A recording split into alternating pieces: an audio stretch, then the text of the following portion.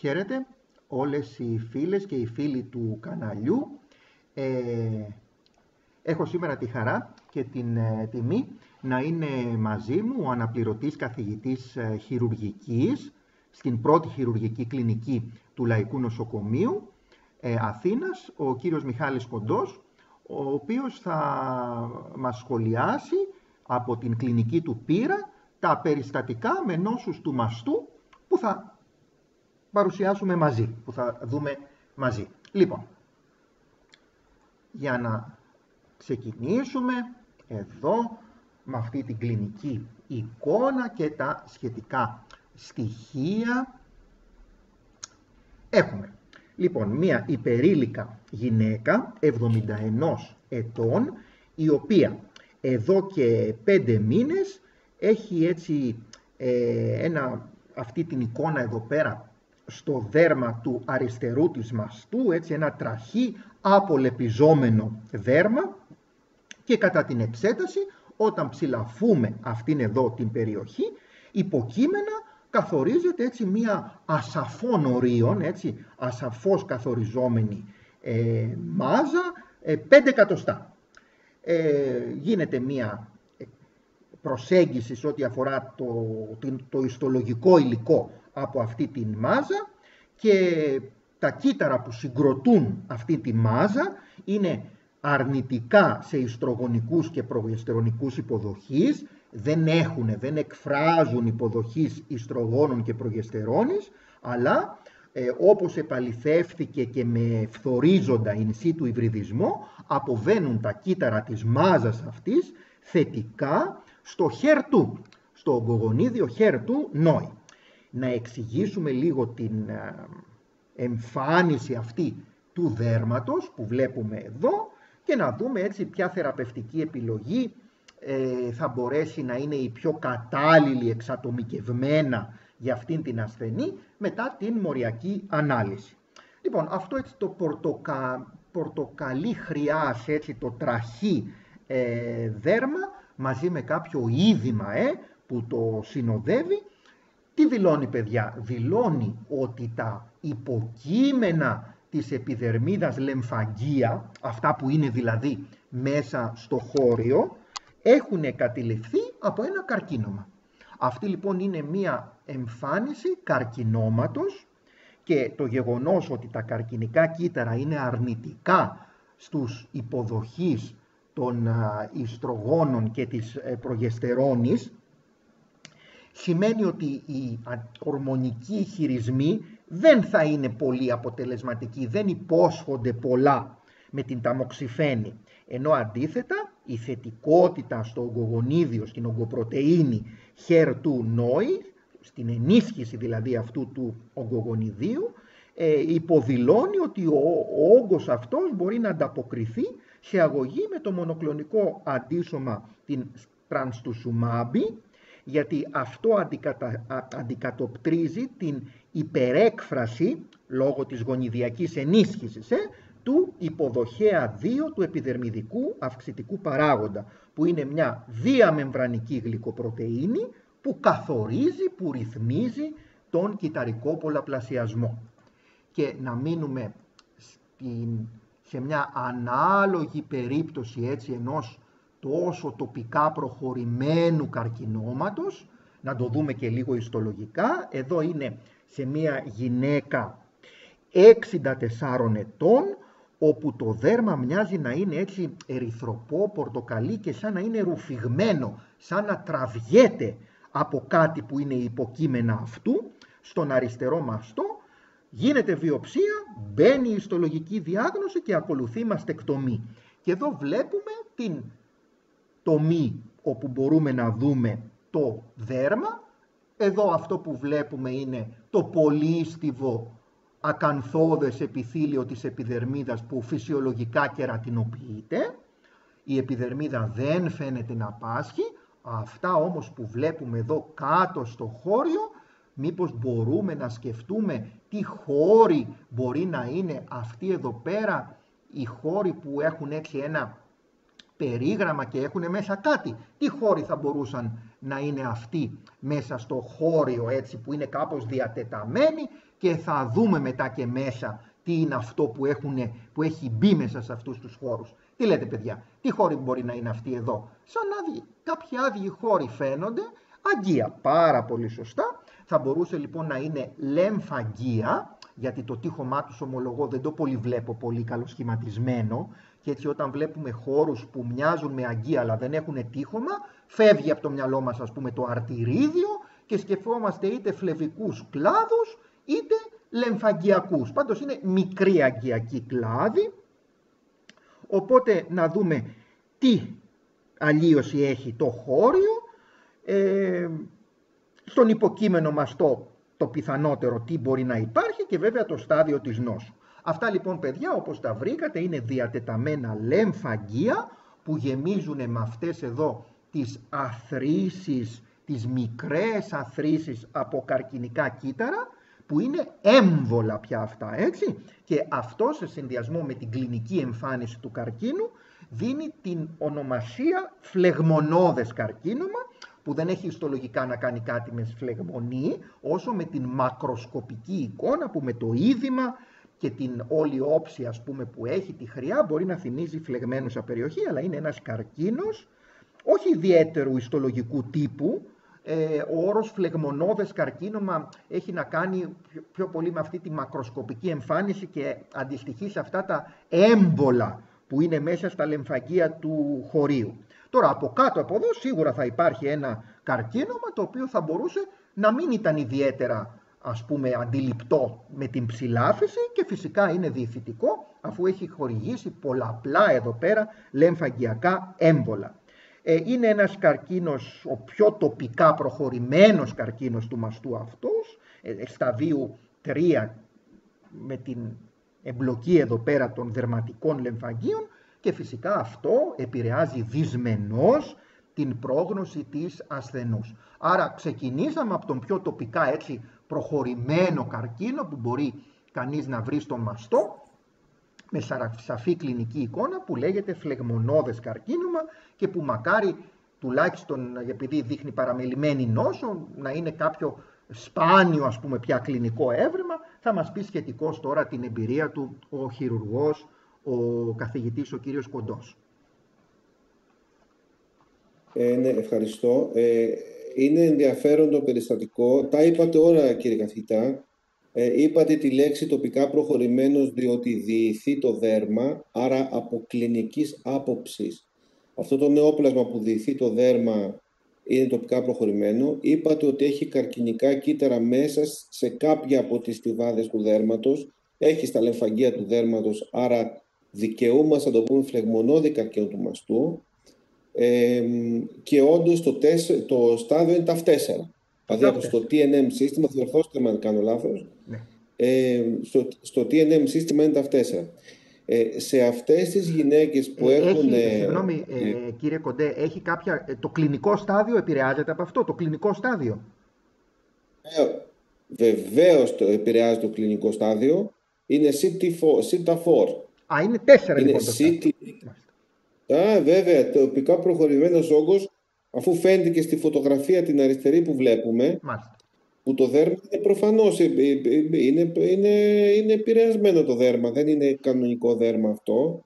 Εμείς παθολογοανατομικά ε, πάντως θα το δώσουμε σαν PTAF 4. Είναι και clinical 4. Και clinical 4, μάλιστα.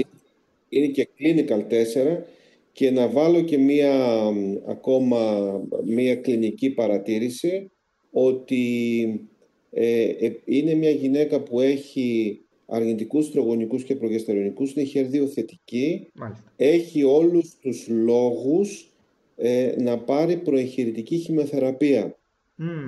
Ε, και μάλιστα όχι μόνο χημεθεραπεία, αλλά και στοχεύουσα θεραπεία, δηλαδή ε, Herceptin ή και παρόμοια φάρμακα, τέλος πάντων, συνήθως τώρα δίνουμε διπλή αναστολή, δηλαδή δίνουμε και περτούζουμάμπι, Μάλιστα. Άρα τραστουζουμάμπι και περτουζουμάμπι ε, και παρόλο την πολύ προχωρημένη τοπική κατάσταση αυτής της νόσου, οι γυναίκες αυτές εμφανίζουν μια εκπληκτική απάντηση στη συστηματική θεραπεία. Υπάρχει πιθανότητα να φτάσουμε στο χειρουργείο δηλαδή και να μην βρούμε καθόλου λόγο να βγάλουμε. Μάλιστα. Οπότε Απλώς θα, θα ψάχνουμε και εμείς μετά το, το εγχειρητικό παρασκεύασμα να βρούμε τα κακοήθη κύτταρα. Ε, θα έχουν πλήρως καταστραφεί. Πάρα πολύ σωστά το λέτε και υπάρχουν πολλοί συνάδελφοι στο παθολόγοι οι οποίοι μας λένε σε τέτοιες περιπτώσεις να βάλουμε κάποιο σημάδι εκεί που ήταν ο όγκος έτσι ώστε να ξέρουν πού να κοιτάξουν. Τόσο πολύ μεγάλη απόκριση στη χημειοθεραπεία έχουν αυτοί οι όγκοι που είναι χέρδιο θετική και η RPR αρνητική. Πολύ ωραία. Να συνεχίσουμε με αυτήν εδώ τη μαστογραφία. Είναι από ε, μια ε, νέα κοπέλα 24 ετών που έχει ήδη τρεις κοιήσεις με τρεις ε, τοκετούς και παρουσιάζει έτσι μια, ένα ογκίδιο, μια μάζα, δύο εκατοστά σε διάμετρο στον δεξιό μαστό της, η οποία όμως ε, ανακαλύφθηκε όταν τελείωσε το θυλασμό ε, από το μωράκι της το τελευταίο που είχε γεννήσει. Ε, η θεία της, από την πλευρά της μητέρας της, είχε καρκίνο του μαστού διαγνωσμένο σε μεγάλη ηλικία, 66 ετών. Η γυναίκα αυτή έχει έναν δείκτη μάζα σώματος 30, έχει δηλαδή έτσι μία μέτριου βαθμού παχυσαρκία και εδώ βλέπουμε τη μαστογραφία, να πιθανολογήσουμε τι αλλίωση μπορεί να είναι αυτή, αν θα είχε κάποια σημασία το οικογενειακό ιστορικό σε αυτήν τη συγκεκριμένη περίπτωση.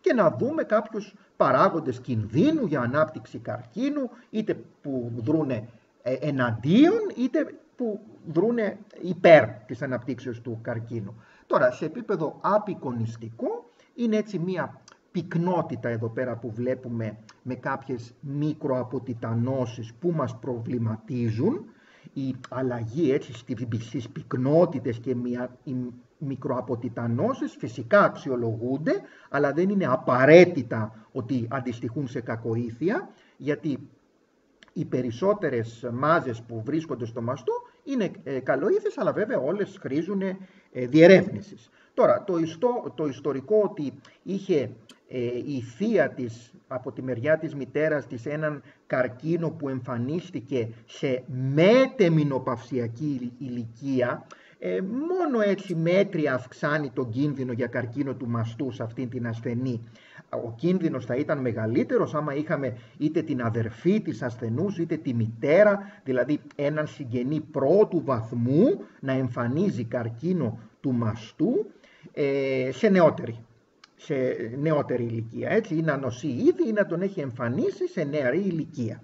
Τώρα, οι παράγοντες που ε, αυξάνουν τον κίνδυνο για καρκίνο του μαστού είναι βέβαια η παχυσαρκία, η ε, ευρωπαϊκή ή η αμερικανική ας πούμε καταγωγή και ε, από την άλλη μεριά προστατευτικά για να μην αναπτυχθεί καρκίνος είναι η πολλαπλή τοκετή, κυρίως σε νεαρή ηλικία και φυσικά ο θυλασμός πάλι σε μια σχετικά νεαρή ηλικία που θεωρείται ότι δρούν προστατευτικά. Για να δούμε όμως έτσι και σε επίπεδο ιστολογίας βλέποντας ένα άλλο ιστορικό τι θα μπορούσε, τι θα μπορούσε να είναι αυτή η μάζα. Εδώ έχουμε μια πάλι νέα γυναίκα 32 ετών που έχει έτσι ένα ανώμαλο ογκίδιο στον αριστερό της μαστό ε, γίνεται μια αναρροφητική βιοψία με λεπτή βελόνα, ένα FNA, το οποίο δεν είναι διαγνωστικό και γίνεται μια βιοψία, από όπου έχουμε εμείς αυτόν τον ιστό που βλέπουμε εδώ στο μικροσκόπιο. Να δούμε τη διάγνωση και να δούμε αν υπάρχει κίνδυνος για καρκίνο.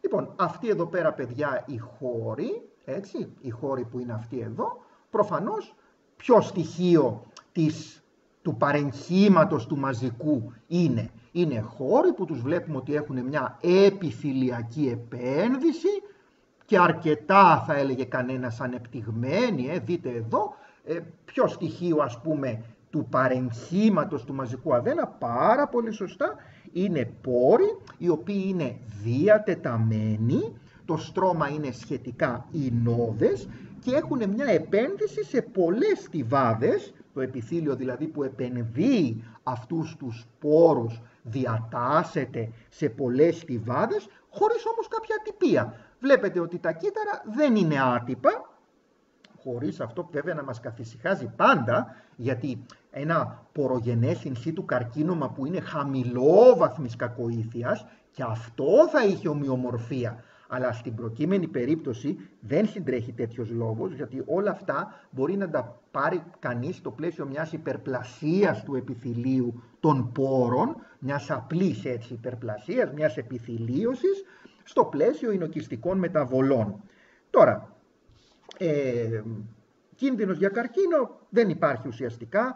Ε, η κίστης, οι αποκρινείς ε, μεταβολές, η εκτασία των πόρων μπαίνουν όλα μέσα στις μη υπερπλαστικές μεταβολές του μαστού που ουσιαστικά δεν αυξάνουν τον κίνδυνο. Τώρα, ε, υπό τον όρο ότι λείπει η ατυπία, έτσι υπερπλαστικές μεταβολές όπως αυτό που βλέπουμε εδώ, η υπερπλασία των πόρων ή ακόμα και η ε, σκληρητική αδένωση δευτερευόντως, που εκεί έχουμε αύξηση του αριθμού των πόρων, έτσι, ε, αυξάνουν τον κίνδυνο μόνο μέτρια, δηλαδή μια μισή με δύο φορές τον κίνδυνο για να γίνει ε, ο καρκίνος ε, του μαστού. εδώ λοιπόν είδαμε τις μικροαποτιτανώσεις στο πλαίσιο των εινοκιστικών μεταβολών, που είναι φυσικά πάρα πολύ συχνές από μια ηλικία στη γυναίκα και μετά. την προσέγγιση ας πούμε την κλινική θα μας την δώσει τώρα ο καθηγητής ο κύριος Κοντός. Ε, ευχαριστώ. Στην πραγματικότητα, ε, παιδες, αυτή, αυτό το περιστατικό θα το συνάρουν πάρα πολύ συχνό.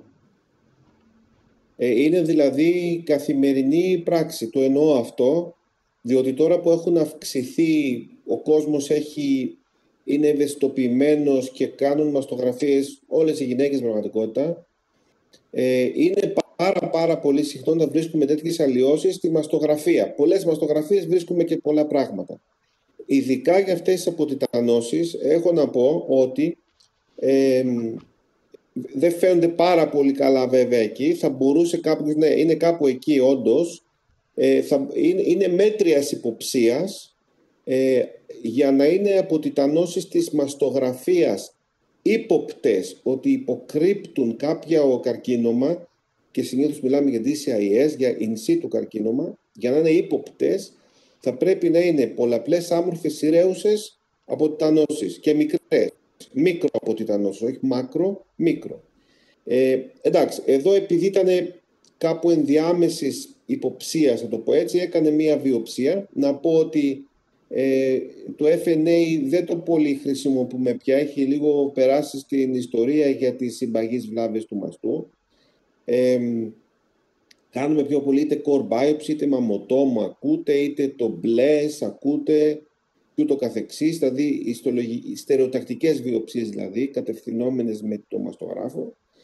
Και ναι, πολλές φορές το παρασκεύασμα μπορούμε να βρούμε απλώς εινοκιστικές μεταβολές. Δηλαδή μεταβολές οι οποίες δεν σχετίζονται τόσο πολύ με αυξημένο κίνδυνο, αλλά σχετίζονται με τη δημιουργία αυτών των αποτιτανώσεων. Επειδή θα γίνουμε πολλοί από εμάς κλινικοί γιατροί, θα πρέπει να προσέξετε πάρα πολύ σε το παρασκεύασμα, στο, στο, στο, στο αποτέλεσμα που θα σας πατεύσει ο παθοργανατόμος, να λέει εντός της γνωμάτευσής του ότι μάλιστα κύριε βρήκαμε τις αποτιτανώσεις. Ε, διότι έτσι επιβεβαιώνεται ότι και το παρασκεύασμα που βγάλαμε εμείς, δηλαδή η βιοψία μέσα στη βελόνη που βγάλαμε είναι αντιπροσωπευτική του δείγματος και δεν πήραμε από δίπλα. Πολύ σωστά. Ε, αυτά. Οπότε πρέπει να ρωτήσω τον κύριο Λάζαρη. Κύριε Λάζαρη, εσείς είδατε με το μικροσκόπιο που θα αποτανώσεις. Δηλαδή, πήρα σωστό δείγμα ή πήρα το δίπλα και δεν πήρα τις αποτανώσεις; Ναι, Οπότε πρέπει βασικό η παρουσία αυτό... των αποτιτανώσεων, ιδιαίτερα σε βιοπτικό υλικό, πρέπει να αναφέρεται στην έκθεση την ιστολογική εκ των όνου κάνευ είναι αυτό. Πολύ σωστά. Βεβαίως προχωρούμε σε αυτήν εδώ την εικόνα που προέρχεται από μια γυναίκα 63 ετών που υφίσταται μια βιοψία για μια έτσι σαν κοιλίδα θα μπορούσε να το πει κανείς ε, στο δέρμα της ε, θηλής του αριστερού μαστού 2 με 3 εκατοστά σε διάμετρο έτσι τραχιά, απολεπιζόμενη και κνισμόδη και βέβαια η απολέπιση, παιδιά, φαίνεται εδώ πέρα στη βιοψία, γιατί κοιτάξτε όλο αυτό εδώ το παχύ στρώμα που είναι πάνω από την επιδερμίδα, προφανώς τι είναι, που είναι και αυτό που απολεπίζεται, ποια στιβάδα είναι αυτή που σας δείχνω εδώ πέρα που δικαιολογεί γιατί είναι ε, γιατί υπάρχει απολεπιζόμηση, πάρα πολύ σωστά, πάρα πολύ σωστά, η κερατίνη στη Βάδα Ελένη και Νίκο, βεβαίως, πάρα πολύ σωστά. Αλλά το πρόβλημα είναι λίγο πιο μέσα, ε, στην επιδερμίδα. Για να δούμε τα ιστολογικά αποτελέσματα, να δούμε ποια αλλίωση είναι αυτή. Τι θα περιμένει τώρα κανείς να βρει στον υποκείμενο μαστό και να δούμε αν αυτή η εμπλοκή του δέρματος επηρεάζει την πρόγνωση της ασθενούς. Λοιπόν, αυτά παιδιά βλέπετε μέσα στην επιδερμίδα, μέσα στην επιδερμίδα, αυτά τα οχρά είναι νεοπλασματικά κύτταρα, είναι καρκινικά κύτταρα, λέγονται κύτταρα Paget αυτά και διηθούν την επιδερμίδα, έτσι.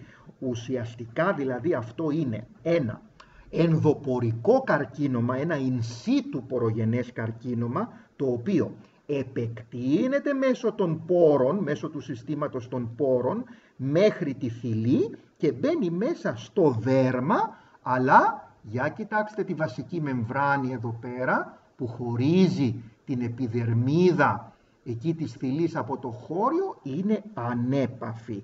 Δεν διασπάται δηλαδή η βασική μεμβράνη. Αυτή λοιπόν είναι η νόσος του Paget που ουσιαστικά είναι ένα ενδοεπιδερμιδικό εν προκειμένου άδενοκαρκίνωμα το οποίο έχει μια επίπτωση 1 με 2% στους καρκίνους του μαστού.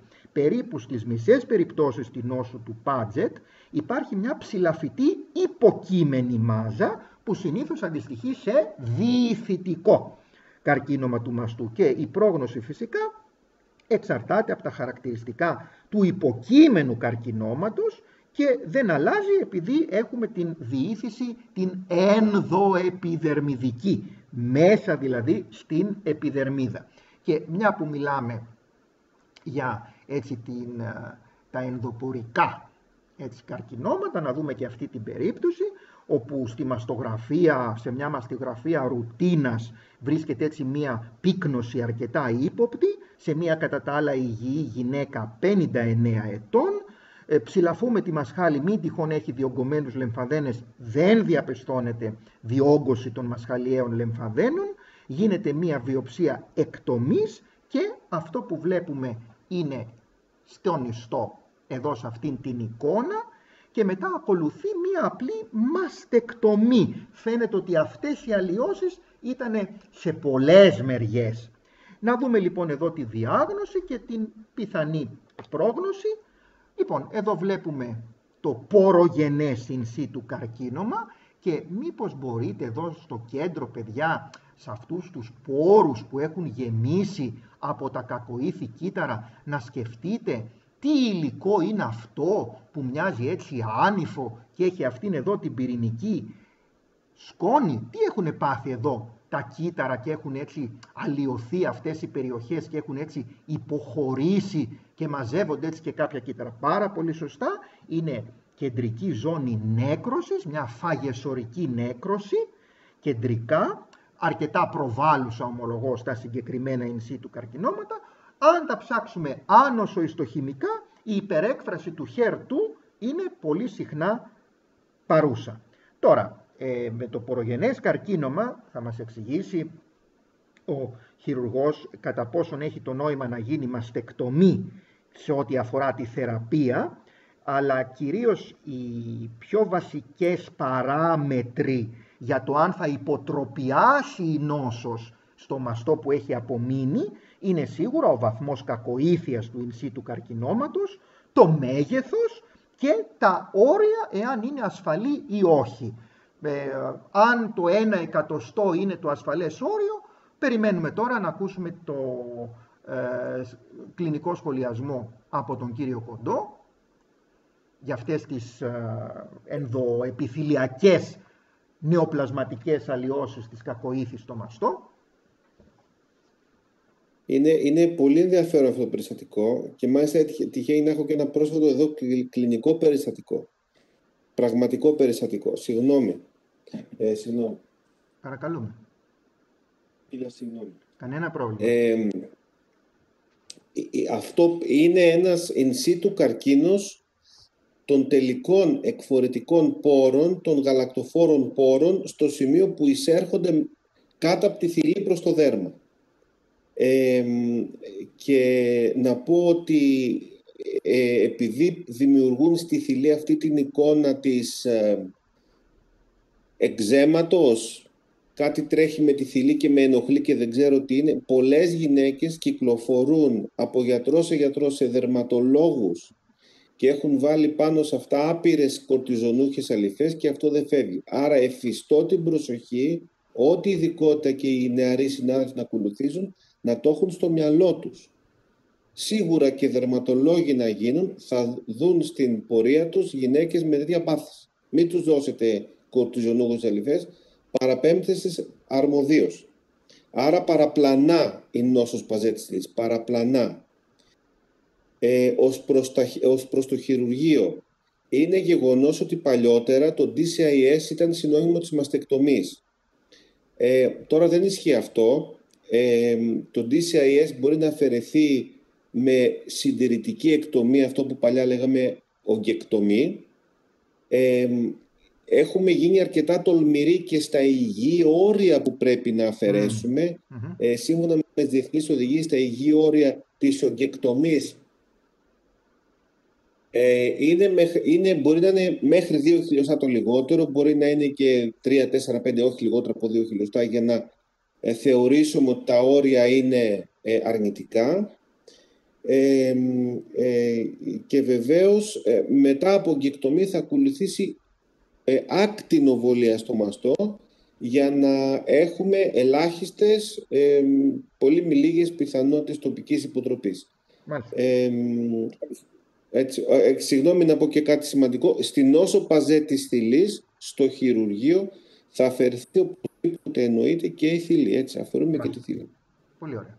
Ακούσαμε λοιπόν για το χειρισμό του πορογενούς in situ καρκινώματος του μαστού και να περάσουμε τώρα στα διηθητικά. Βλέπουμε εδώ πέρα μία ε, νέα γυναίκα, 29 ετών, η οποία εμφανίζει, παρατηρεί στον δεξιό μαστό μία μάζα εδώ και πέντε μήνες. Ε, κατά την ψηλάφιση είναι μία έτσι σφιχτή, ανώμαλων ορίων μάζα 7 εκατοστά. Ε, πάλι ψηλαφιτικός δεν διαπιστώνεται ε, διόγκωση των μασχαλιαίων λεμφαδένων. Μετά την αφαίρεση βλέπουμε την μακροσκοπική εικόνα της μάζας που ήταν ψηλαφιτή, προφανώς γιατί βλέπετε παιδιά ήταν κοντά στο δέρμα και ήταν ψηλαφιτή. Βλέπουμε λοιπόν μακροσκοπικά. Ο έλεγχος που ακολουθεί στο μικροσκόπιο με τις ειδικές χρώσεις αναδεικνύει θετικότητα στους ιστρογονικούς και προγεστερονικούς υποδοχής χωρίς ενίσχυση, χωρίς ενίσχυση του HER2. Ε, να αποφανθούμε φυσικά για τη φύση της αλλίωσης, ποια, ποιος χειρισμός θεραπευτικός υπόσχεται να ελέγξει την νόσο και παρότι δεν υπήρχαν ψηλαφιτοί μασχαλιές λεμφαδένες, ε, θα μπορούσε να υπάρξει μεταστατική νόσος. Λοιπόν, βλέπετε παιδιά ακόμα και σε επίπεδο έτσι μακροσκοπικό, τα ακαθόριστα έτσι, τα ακαθόριστα όρια, τα διηθητικά, είναι μια αλλίωση έτσι με ανοιχτόχρωμη, ανοιχτόχρωμη θα έλεγε ε, κανένας, Οπότε προφανώς με αυτά τα ανώμαλα όρια προσανατολιζόμαστε προς διάγνωση του καρκινώματος, του μαστού, το οποίο ε, βάσει του ελέγχου που έγινε σε ιστρογονικούς και προκοστερονικούς υποδοχείς θα είχε νόημα λόγω της θετικότητας να χορηγηθεί στην ασθενή ταμοξυφένη, διότι αυτή πηγαίνει και ανταγωνίζεται για την πρόσδεσή της στους ιστρογονικούς υποδοχείς και έτσι αναστέλει τον τον, το ερέθισμα των ιστρογόνων.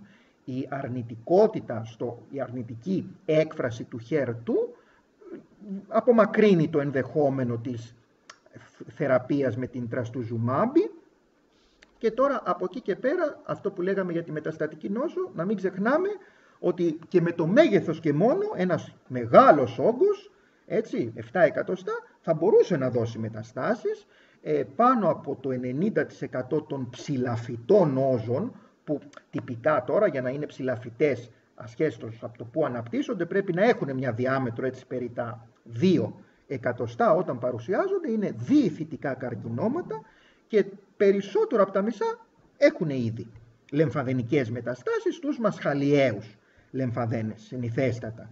Ε, τα περισσότερα, το 80% είναι άδενο καρκινόματα, χωρίς ειδικούς χαρακτήρες, αυτά που παλαιότερα ονομαζόντουσαν πορογενή και με λιγότερες ποικιλίες που λιγότερες περιπτώσεις να αφορούν σε ειδικές ιστολογικές ποικιλίες, όπως το μυελοειδές, το λοβιακό.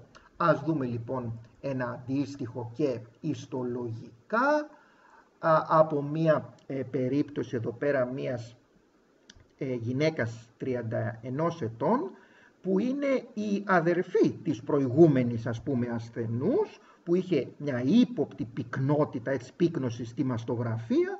Η βιοψία έδειξε αυτή την εικόνα που εδώ πια έχουμε, κοιτάξτε την ανάπτυξη ε, σε σχέση με αυτό το ακυταρικό στρώμα, ε, σαφέστατα έτσι η διηθητική ανάπτυξη εδώ πέρα και μια άλλη αδερφή ε, στην ίδια οικογένεια είχε καρκίνο των οθικών το περασμένο έτος διαγνωσμένο.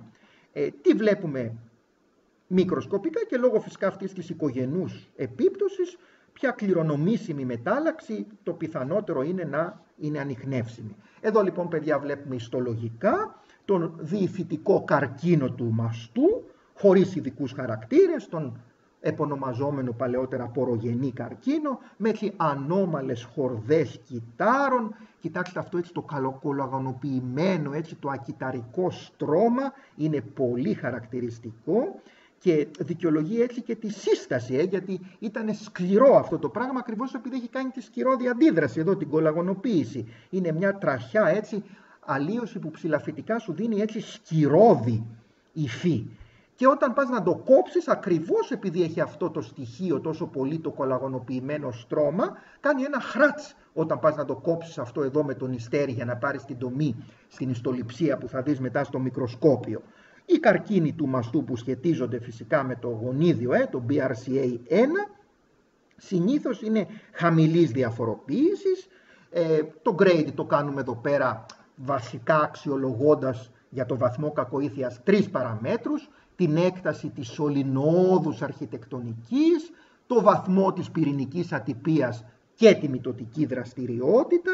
Συνήθως λοιπόν οι καρκίνοι του μαστού που σχετίζονται με τις μεταλλάξεις στο BRCA1 γονίδιο είναι χαμηλά διαφοροποιημένοι, υπερεκφράζουν το HER2, ενώ οι καρκίνοι που σχετίζονται με μεταλλάξεις στο BRCA2 δεν έχουν ιδιαίτερα έτσι μορφολογικά γνωρίσματα και ο κίνδυνος για καρκίνο των οθικών, για ανάπτυξη καρκίνου στις οθήκες είναι υψηλότερος στις περιπτώσεις με μετάλλαξη του BRCA1 από ό,τι στις μεταλλάξεις του BRCA2. Το οικογενές ιστορικό δηλαδή μας προσανατολίζει εδώ με την νεαρή ηλικία σε αυτή τη μορφή του καρκίνου. Κάποια έτσι στοιχεία έτσι τώρα κλινικά για το διηθητικό καρκίνωμα του μαστού. Να ακούσουμε. Ε, Εντάξει, δεν έχω πολλά να προσθέσω. Στην πραγματικότητα, μόλις άκουσα 29 ετών ότι είναι αυτή ασθενής, αμέσως ε, χτυπάει ας πούμε, το καμπανάκι, να το πω έτσι, ότι κάτι τρέχει ε, με την οικογένεια αυτής της άρρωστης. Έτσι, ε, και δεν μου ακούστηκε καθόλου περίεργο ότι και οι αδελφές της είχαν ένα παρόμοιο πρόβλημα. Σίγουρα ένας μεγάλος όγκος αυτός, εντάξει. Νομίζω ότι αυτό το παρασκεύασμα είναι παρασκεύασμα μαστεκτομή από ό,τι κατάλαβα. Ναι.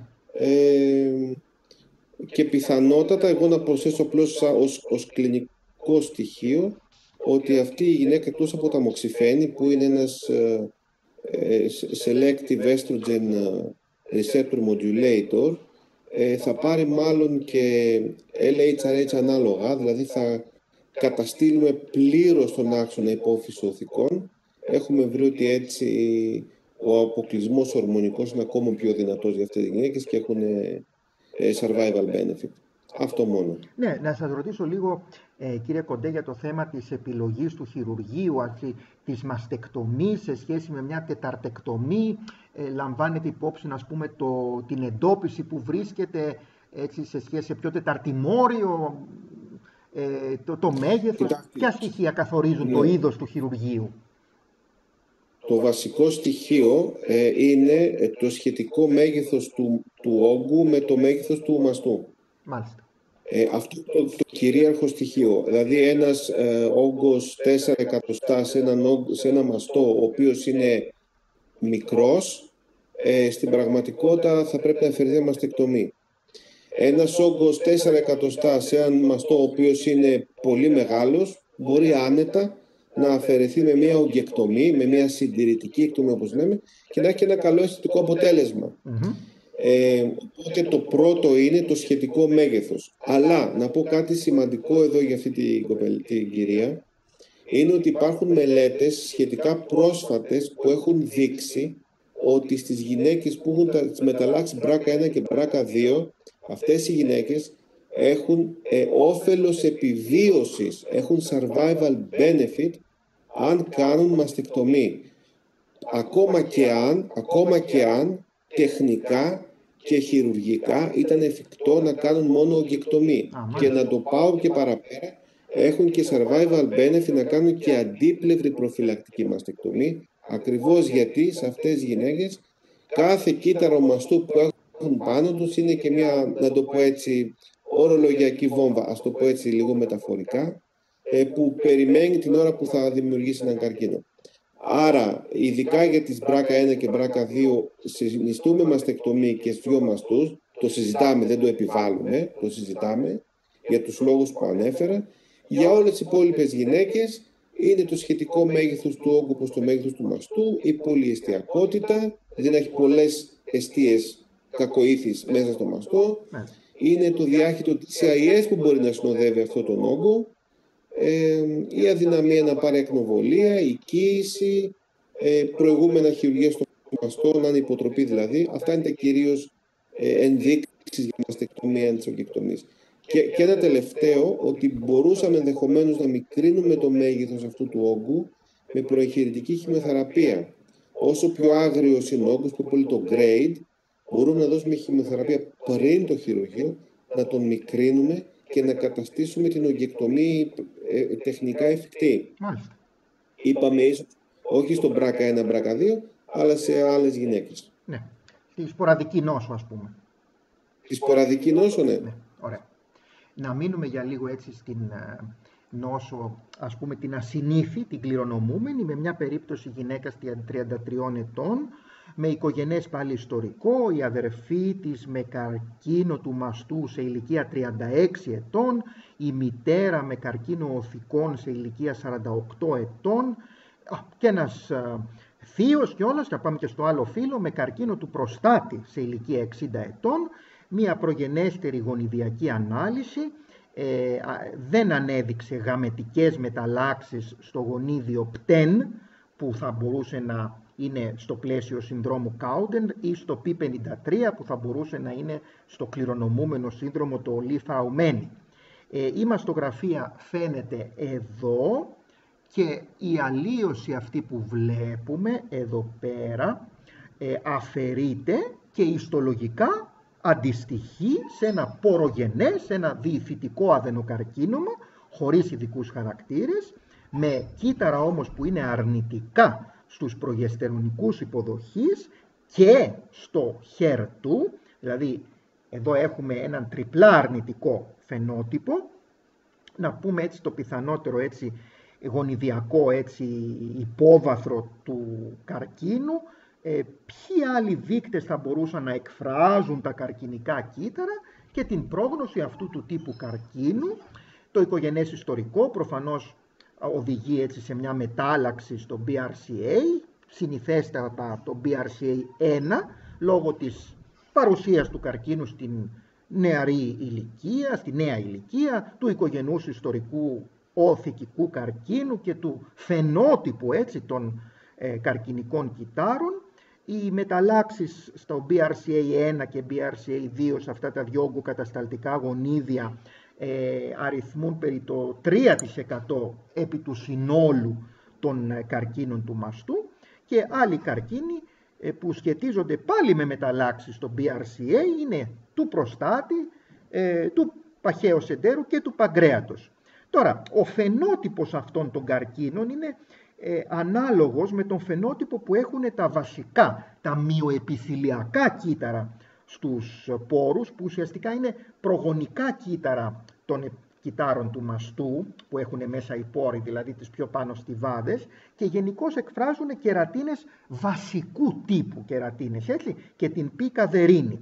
Τώρα γενικά αυτής, αυτή η καρκίνη του μαστού της βασικής ποικιλίας ε, έχουν συχνά υψηλόβαθμη ιστολογική κακοήθεια με μεγάλο ε, ποσοστό ενεργώς πολλαπλασιαζομένων κυτάρων όπως φαίνονται στο δείκτικη 67 που κάνουμε στην ανοσοφενοτυπική ανάλυση των κυτάρων και ανταποκρίνονται λιγότερο καλά στη χημειοθεραπεία, δηλαδή τίνουν έτσι προς μια βαριά πρόγνωση. Αυτή η, βασικού, η βασικής ποικιλίας καρκίνη.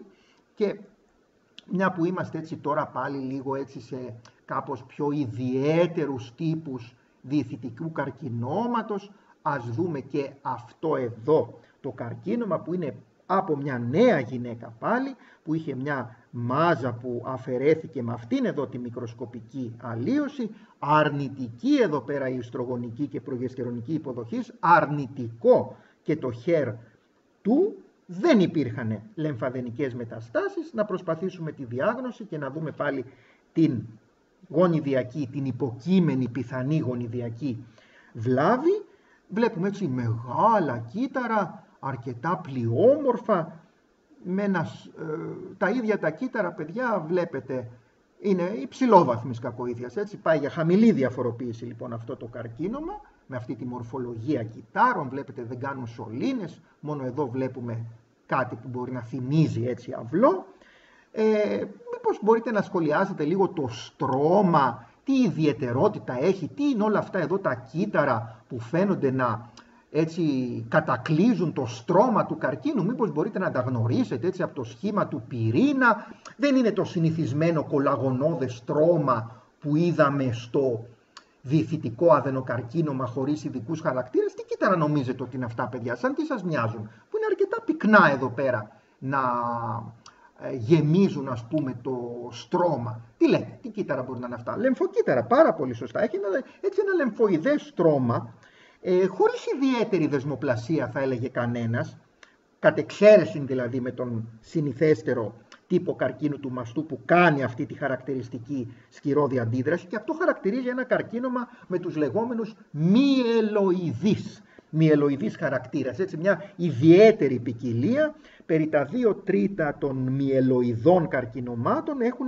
μια υπερμεθυλίωση στον προωθητή του γονιδίου BRCA1 και οι γαμετικές μεταλλάξεις στο BRCA1 που θα περίμενε κανένας έτσι στον κληρονομούμενο καρκίνο, εδώ απουσιάζουν. Δηλαδή το θέμα είναι σε διαταραχή της μεθυλίωσης, σε μια υπερμεθυλίωση του προωθητή του γονιδίου και όχι σε μια γαμματική μετάλλαξη που κληρονομείται. Είδαμε λοιπόν αυτές τις δύο περιπτώσεις, το κληρονομικό καρκίνωμα, από αυτήν εδώ την θέση, με τον φαινότυπο αυτόν που πήγαινε για βασικού τύπου και το μυελοειδές. Ε, κάποιο σχόλιο έτσι για αυτούς τους ιδιαίτερους τύπους καρκίνου του μαστού. Ε, απλώς να πω ότι έχουν πολύ κακή πρόγνωση ε, και γιατί είναι επιθετικοί, είναι τριπλά αρνητικοί, ε, λέμε, τους λέμε τριπλά αρνητικούς αυτούς, γιατί δεν έχουν ιστρογονικούς υποδοχής ούτε HER2. Έχουμε στην πραγματικότητα πολύ λίγα όπλα να τους αντιμετωπίσουμε ε, και η χημειοθεραπεία που που έχουμε στη διάθεσή μας δεν, ε, δεν, πολύ, δεν πολύ δουλεύει. Δίνουμε σε αυτές τις περιπτώσεις συχνά προεγχειρητική χημοθεραπεία, αλλά έχουμε βρει ότι ενώ οι τριπλά αργητικοί όγκοι που δεν είναι βασικού τύπου αποκρίνονται καλά, οι βασικού τύπου δεν αποκρίνονται καλά και δεν πάνε καλά δυστυχώς. Ε, Κάτι αυτό που μόνο. συνειδητοποιώ εδώ πέρα είναι ότι αυτό που λέγαμε παλιά, έτσι, το μυελοειδές καρκίνωμα που το θεωρούσαμε έτσι, ένα αφοριζόμενο καρκίνωμα με το πλούσιο στρώμα έτσι, και τη συγκητιακή εμφάνιση των καρκινικών κυτάρων και παλιά το είχαμε στο μυαλό μας ως ευμενή, ως ευμενή ιστολογικό τύπο, προφανώς τώρα λόγω του επιβαρυντικού ανοσοφενότυπου που είναι τριπλά αρνητικό, χάνει την όποια ας πούμε μορφολογική ας πούμε εύνοια θα μπορούσε να δώσει κανείς αυτός ο τύπος και υπερισχύει φυσικά το, η μοριακή του βιολογία ας πούμε. Ακριβώς, Δεν, δεν έχει καλή πρόγνωση αυτό, δεν έχει. Οπότε ο τριπλά αρνητικός φαινότυπος έτσι είναι επιθετικός. Ο τριπλά αρνητικός φαινότυπος είναι επιθετικός, αλλά αυτοί που έχουν και βασικό, βασικού τύπου ανοσοφενότυπο που λέμε εμείς, ε, έχουν το μειονέκτημα ότι είναι επιθετικός που είναι, αλλά δεν ακούν ούτε χημοθεραπεία. Ενώ οι, οι περισσότεροι, δεν θα πω όλοι, ναι. ένας γενικός αδρός κανόνας, οι περισσότεροι ε, επιθετικοί όγκοι έχουν είναι και χημειοευαίσθητοι. Γιατί ακριβώς όταν πολλαπλασιάζονται, βρίσκει ευκαιρία το χημειοθεραπευτικό φάρμακο, το λέω λίγο πλουστευτικά τα πράγματα βέβαια, ναι. και, τους, ε, και χτυπάει το κύτταρο πολλαπλασιάζεται. Όχι όμως αυτά. Όχι αυτά. Πολύ ωραία. Συνεχίζουμε. Α, για να δούμε εδώ πέρα. Λοιπόν, είναι μια γυναίκα 41 ετών, έτσι με μια ακανόνιστον ορίων πύκνωσης στον ε, αριστερό μαστό σε μια μαστογραφία που έγινε στο πλαίσιο έτσι, προληπτικού ελέγχου, screening, και γίνεται μια βιοψία που δείχνει ε, μια περιοχή έτσι σκληρητικής αδένωσης, με πολλούς πόρους έτσι να πολλαπλασιάζονται μέσα σε ένα στρώμα αρκετά σκληρισμένο, κάτι που μπορεί να μπερδέψει με καρκίνωμα, αλλά υπάρχει διπλός κυταρικός πληθυσμός της αδενώσης, δηλαδή κύτταρα και μειοεπιθυλιακά, οπότε πηγαίνουμε προς αθώωση της μορφολογικά έτσι ψευτοδιηθητικής ανάπτυξης, αν μπορούμε να το πούμε. Αλλά εδώ πέρα, εκτός από τη περιοχή της αδένωσης, υπάρχουν και κάτι τέτοιες δομές, έτσι που μας προβληματίζουν πάρα πολύ, για να βάλουμε τη σωστή διάγνωση, να ελέγξουμε σχολευτικά μετά από αυτή τη σωστή διάγνωση και τον άλλο μαστό από την άλλη μεριά και αν μια τέτοια γυναίκα ανέπτυσε ασκήτη ή ε, προσβολή των μηνύγκων, τι θα μπορούσε να σκεφτεί κανείς. Λοιπόν, ε, αυτό που βλέπουμε εδώ πέρα, βέβαια θα το ξεκινήσουμε από την in situ κατάσταση που μετά τη διάγνωση πρέπει να κοιτάξουμε τον άλλο μαστό, να δούμε πάντα τον φαινότυπο των ανοσό ιστοχημικό με τους ιστρογονικούς, προγεστερονικούς υποδοχής, το HER2 και τις γονιδιακές μεταβολές που πρέπει να λαμβάνουμε υπόψη μας. Αυτό είναι μια μορφή in situ, in situ καρκινόματος. Έτσι ξεκινάμε από το in situ πρώτα, που είναι το λοβιακό καρκίνωμα του μαστού, που αναπτύσσεται έτσι ένας πολλαπλασιασμός κακοήθων κυτάρων μέσα στις τελικές πορολοβιακές μονάδες, τις οποίες τις διατείνει. Και πολύ χαρακτηριστικά για τον λοβιακό έτσι υπότυπο, εδώ της in situ κακοήθειας, τα κύτταρα τα κακοήθη είναι μικρά και στρογγυλά. Δείτε εδώ ε, πώς φουσκώνουν τις δομές μέσα στις οποίες αναπτύσσονται. Βέβαια, μοιάζουν χαμηλόβαθμης κακοήθειας, αλλά υπάρχει ένα 20 με 40% κίνδυνος να αναπτυχθεί και διηθητικό καρκίνωμα, ε, είτε στον ίδιο είτε και στον άλλον μαστό, από τον ετερόπλευρο.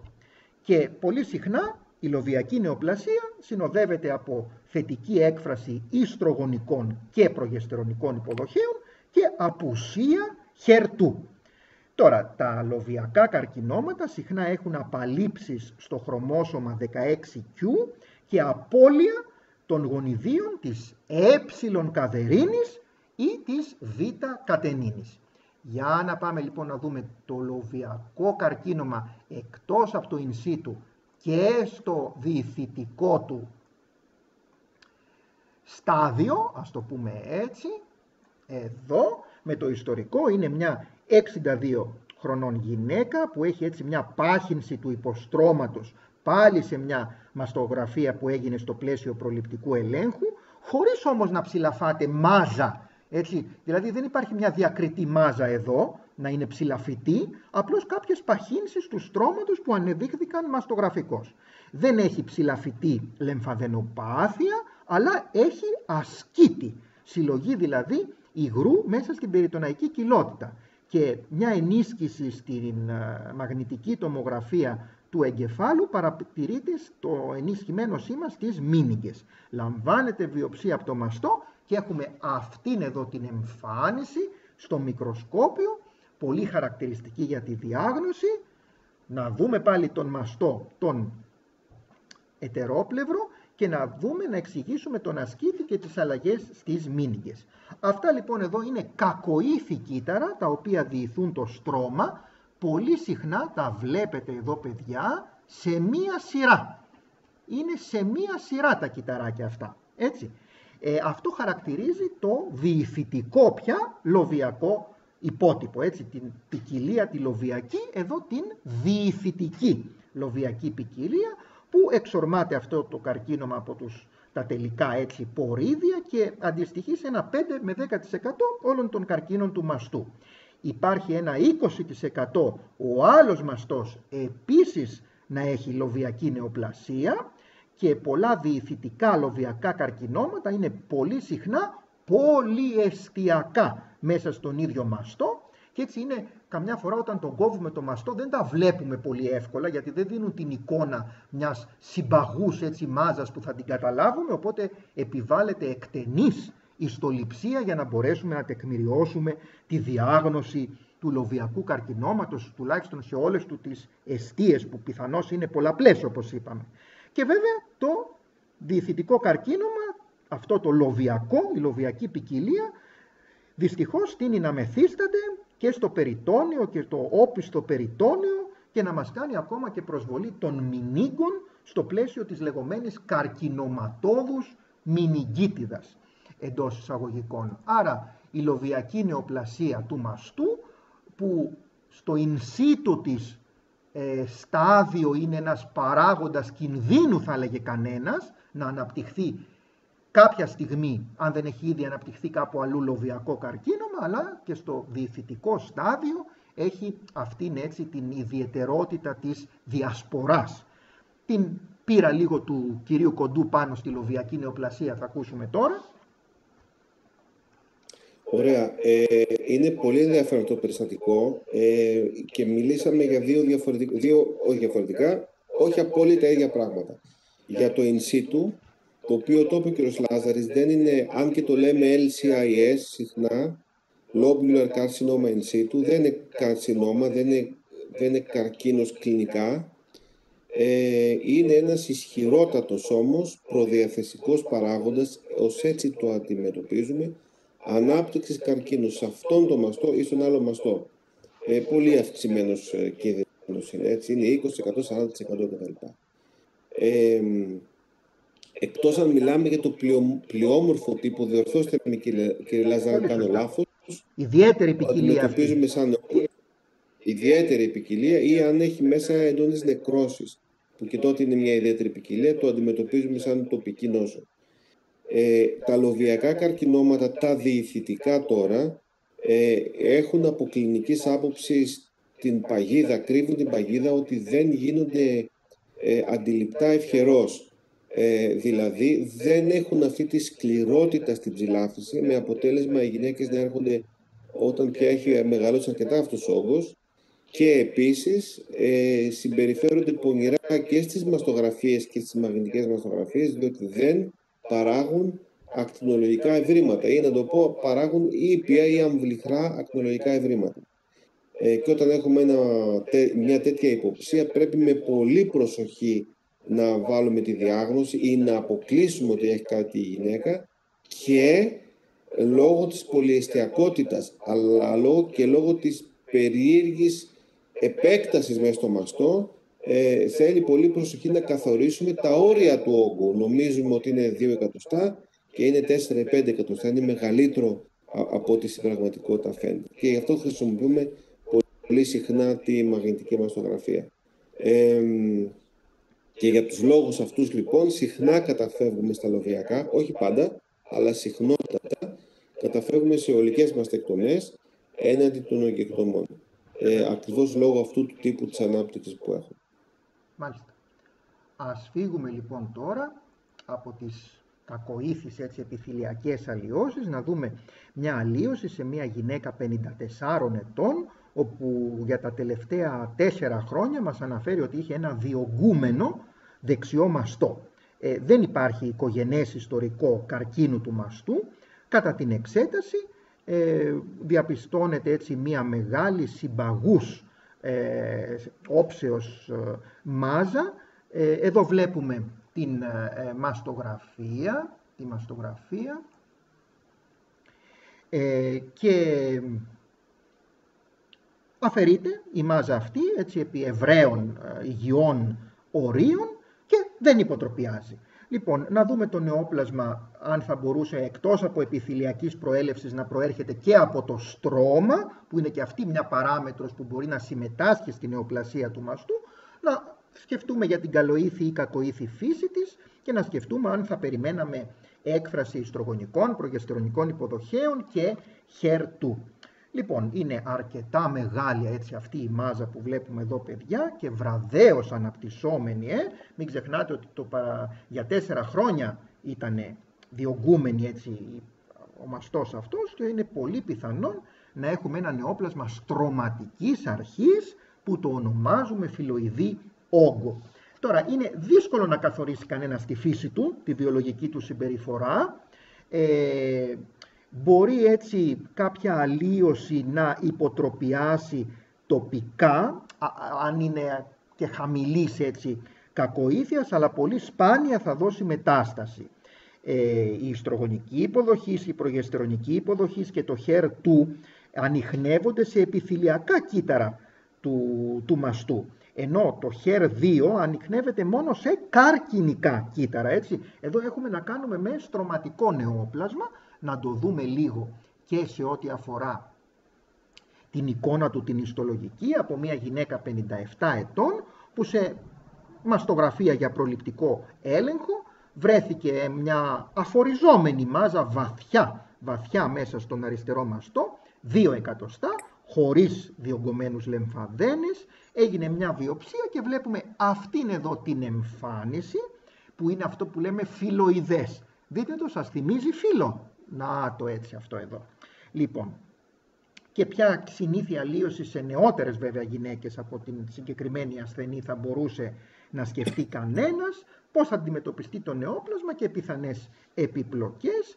Έχει έτσι κάτι βολβόδης θα μπορούσε να της πει κανένας, ε; βολβόδης προβολές στρώματος που συμπιέζουν κάπως έτσι συμπιεσμένο το επιθύλιο σε αυτές, εξού και ο όρος φιλοειδής, φιλοειδής αυτόν τον όγκο. Τώρα σε μια νεότερη γυναίκα τα ινοαδενόματα είναι αυτά που έχουν έτσι μια υπερπλασία, έτσι, με ένα πολλαπλασιασμό του στρώματος που συμπιέζει και ε, κατά κάποιο τρόπο ε, ενοχλεί έτσι, το παρακείμενο επιθύλιο.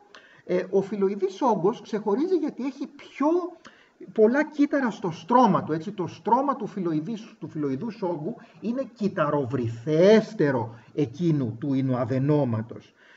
Ε, ξέρετε φυσικά επί ευραίων ορίων, υγιών ορίων, είναι ασυνήθεις οι μεταστάσεις, γι' αυτό και δεν σκέφτεται κανένας το λεμφαδενικό καθαρισμός σε αυτούς τους όγκους.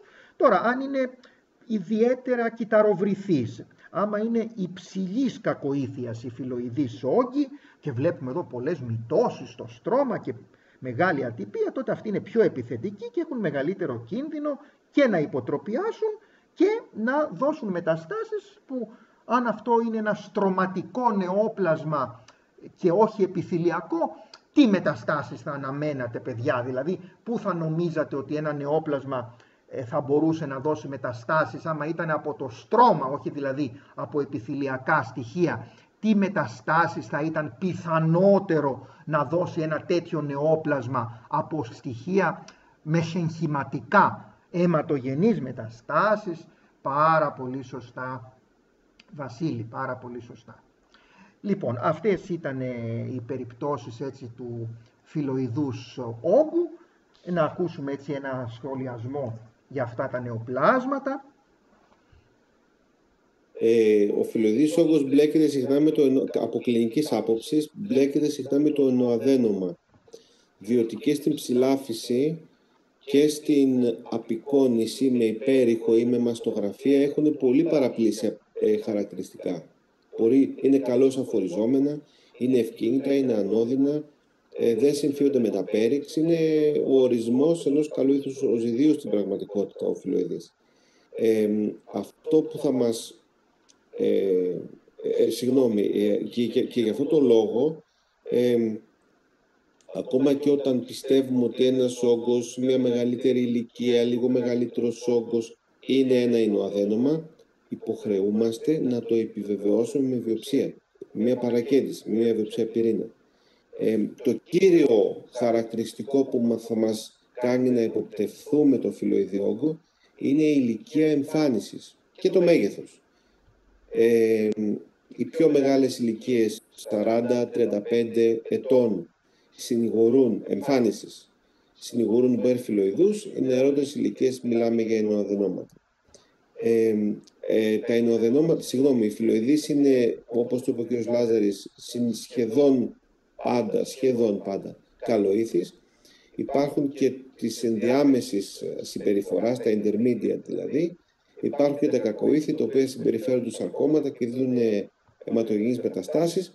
Στους φιλοειδείς όγκους, καλοήθης και κακοήθης, ε, έχουν την τάση να, υποχωρούν, να υποτροπιάζουν τοπικά και γι' αυτό το λόγο πρέπει να τα αφαιρέσουμε σωστά, με καλά όρια τοπικά. Όταν τα αφαιρούμε δεν χρειάζεται να ακουμπήσουμε τους λεμφαδένες της μασχάλης όπως κάνουμε στα αδενοκαρκινώματα ε, διότι δεν έχουν την τάση να δίνουν λεμφαγιακές, έχουν την τάση να δίνουν αιματογενείς μεταστάσεις. Ε, αυτά.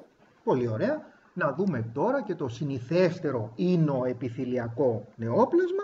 Εδώ να, νεότερη έτσι, μια νέα κοπέλα, 22 ετών, με ένα ευκίνητο ε, ογκίδιο, μια μάζα στον αριστερό μαστό, 1,5 εκατοστό, η οποία ε, ε, προβάλλει έτσι περισσότερο και γίνεται έτσι και κάπως, αποκτά έτσι και κάποιους χαρακτήρες ε, να πονάει λιγάκι ε, πριν από κάθε εμινορισιακό κύκλο της κοπέλας. Εδώ βλέπουμε τη μαστογραφία ε, με το χαρακτηριστικό έτσι ομαλότατο περίγραμμα. Ε, δεν αποδίδει κύτταρα η αναρροφητική βιοψία διαλεπτής μελώνης, αφαιρείται όμως η αλλίωση, την πιθανότερη διάγνωση, να δούμε γιατί άλλαζε κατά τη διάρκεια έτσι του εμινορισιακού κύκλου ε, πρώτης εμίνου ε, ρήσεως ας πούμε και ε, πώς θα άλλαζε αυτό όταν είχε περάσει η γυναίκα σε μετεμινοπαυσιακή ηλικία.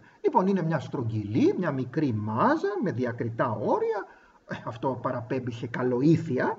Ε, η πιο συχνή αλλίωση καλοήθης αυτή είναι το ινοαδένομα, το οποίο βέβαια επειδή είναι ινοαδένομα δεν μπορεί να μας δώσει κύτταρα στην αναρρόφηση, στο FNA, και θα δούμε και την ιστολογία του μετά. Είναι βέβαια τα ινοαδενόματα είναι ορμονικά εξαρτώμενα, έτσι απαντούν στις ορμόνες και στις γυναίκες της αναπαραγωγικής ηλικίας μπορεί να μεγαλώσουν στο δεύτερο ήμιση του κύκλου, του εμινορισιακού, ε, καθώς αυξάνουν ας πούμε τα επίπεδα των ιστρογόνων και της προγεστερόνης. Τώρα, αν φύγει το ορμονικό ερέθισμα, όπως μετά την εμινόπαυση, θα υποστρέψει αυτό θα γίνει πιο πυκνό το στρώμα, μπορεί να έρθουν και ασβεστώσεις, οπότε αν έρθουν και ασβεστώσεις μπορεί μια απεικονιστική έτσι, ε, αλλίωση να μιμηθεί ακόμα και κακοήθεια.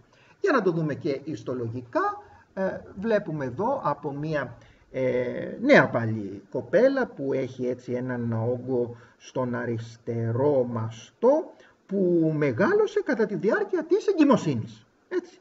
Και αφαιρέθηκε τελικά με αυτή τη μικροσκοπική εμφάνιση να βάλουμε τη διάγνωση, να πούμε γιατί αυξήθηκε το μέγεθος κατά τη διάρκεια της εγκυμοσύνης και αν έχει κάποια σημασία να υπάρχουν αμφωτερόπλευρα τέτοιες αλλοιώσεις. Λοιπόν, να το το είναι ο αδένομα με αυτές τις επιθυλιακές δομές που βλέπετε εδώ παιδιά που είναι πόροι που συμπιέζονται έτσι από αυτό το στρώμα το οποίο είναι μυξοειδές. Δείτε λίγο έτσι τη σύσταση του στρώματος στο ινοαδένωμα.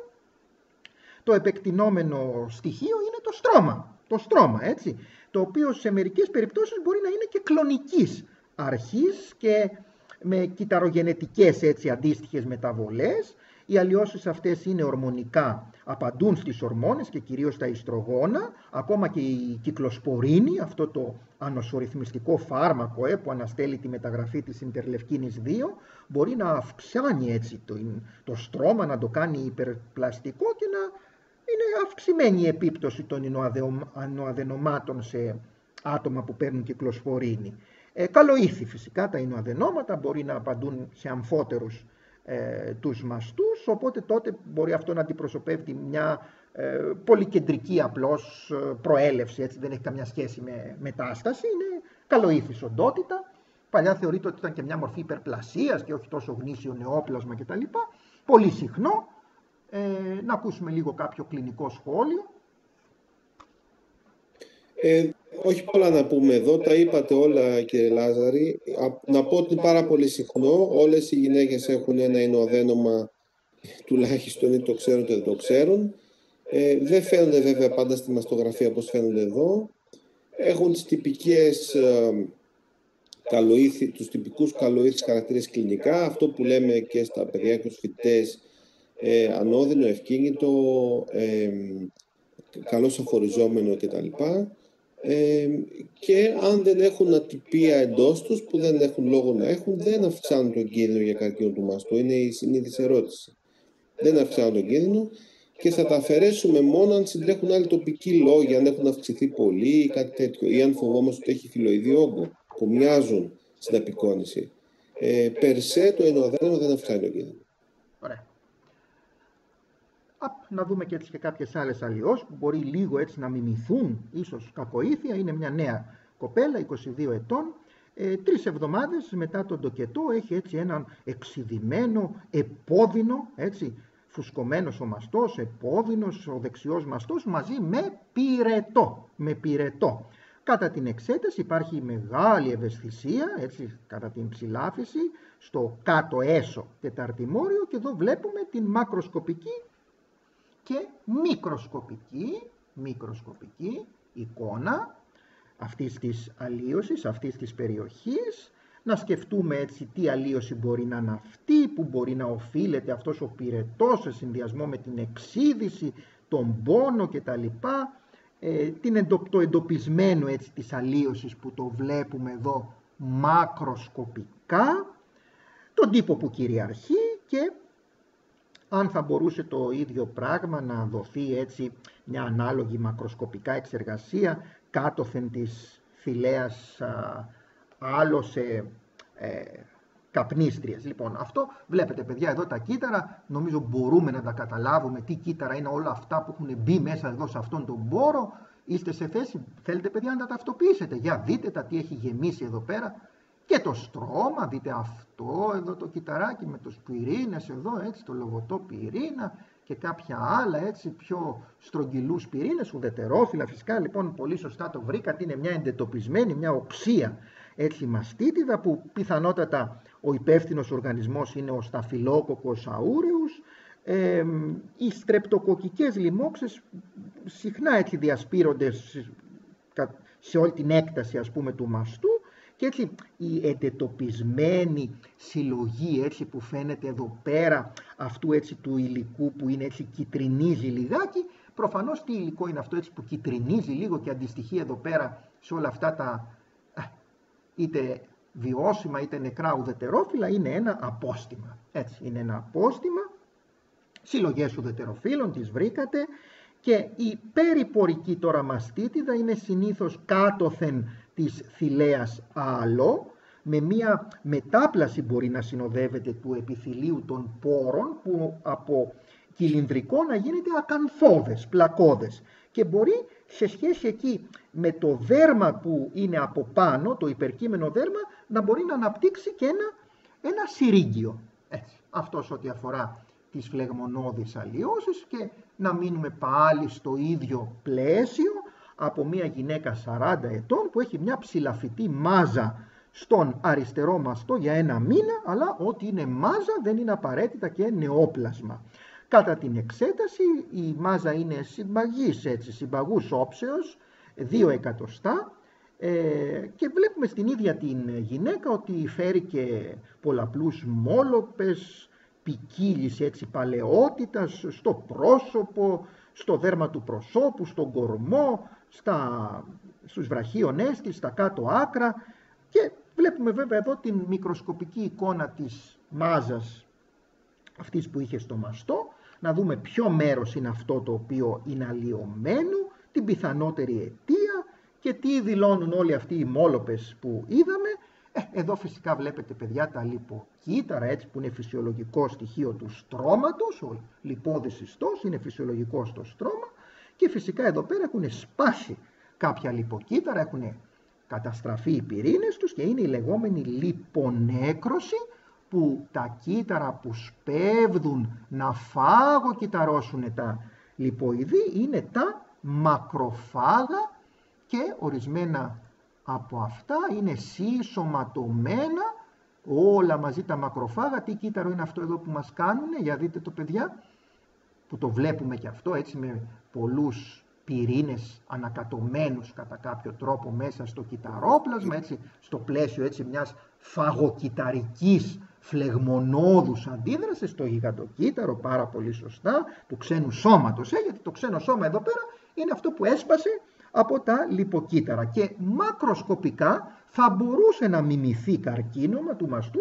χωρίς να έχει καμία, καμία άλλη φυσικά σχέση με καρκίνωμα. Τώρα αν εξαιρέσουμε κάποια πολύ σπάνια νοσήματα, πρωτοπαθή του λιπόδου συστού, φλεγμονώδη όπως είναι η νόσος Weber Christian και το συνδυάσουμε το συγκεκριμένο περιστατικό με τους πολλαπλούς έτσι τραυματισμούς κτλ. Προφανώς η γυναίκα έχει τραυματιστεί έτσι στο πλαίσιο μιας κακοποίησης που δυστυχώς αυτά τα περιστατικά έχουν έρθει και στην επικαιρότητα σε αυξημένη κατά κάποιο τρόπο συχνότητα, μια κακοποίηση δηλαδή είτε από τον σύζυγό της είτε από τον ερωτικό σύντροφο ε, που είχε σαν αποτέλεσμα να αναπτυχθεί αυτή η ογκόμορφη αλλίωση που δεν ήταν όμως νεόπλασμα έτσι γνήσιο την λιπονέκρωση. Η λιπονέκρωση λοιπόν ακόμα και μετά από ακτινοβολίες έχω την εντύπωση θα μας πει και ο κύριος Κοντός ότι μπορεί να αναπτυχθούν τέτοιου είδους λιπονεκρώσεις και θορυβούμεθα βέβαια γιατί είναι ογκόμορφες αλλοιώσεις αυτές. Ακούμε, λοιπόν. και, και, όχι μόνο είναι ογκόμορφες, ε, όχι κύριε Λάσσας, δεν ξέρω σας διέκοψα, αλλά δείχνουν ε, και, στη, και στη μαστογραφία και στον υπέρηχο ε, δίνουν, υπο, δίνουν χαρακτηρίσει ύποπτους. Ύποπτους. Δηλαδή, κάνεις τη μαστογραφία και βλέπεις μια ακτινοτή ε, αλλίωση, λες αυτό είναι καρκίνος. Ε, ε, και βέβαια τη λύση θα την κάνει στη βιοψία όπως έγινε εδώ. Ε, και τη λύση, μάλλον την υποψία ότι δεν είναι κακοήθεια αλλά είναι λιπονέκρος είναι, είναι το ιστορικο ε, ότι υπάρχει ιστορικό τραυματισμού έτσι, ε, ζώνη, ζώνη ασφαλείας στο αυτοκίνητο, κλασικό, κακοποίηση στο σπίτι, συμφωνώ απόλυτα.